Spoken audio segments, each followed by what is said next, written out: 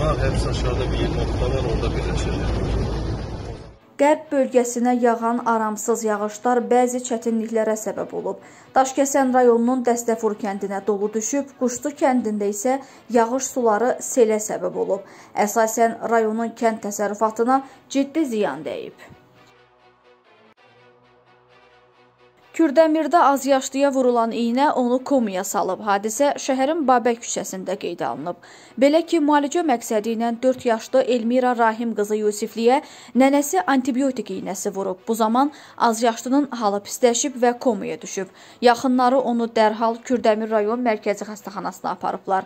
Həkimlər uşağa ilkin tibbi yardım göstərsələr də, onun vəziyyəti ağır olduğundan dərhal azyaşlını Bakı şəhərindəki xəstəxanalardan birinə göndəriblər.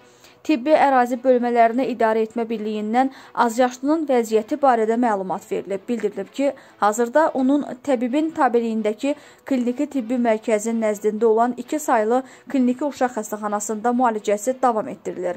Müəssisənin təcili tibbi yardım şöbəsində xəstəyə zəruri tibbi yardım göstərilib. Hazırda pasiyent həkim nəzarətindədir. Vəziyyəti orta stabildir. Analiz nəticələri müsbətdir. Ona zəruri tibbi xidmətlərin göstərilməsi davam edir.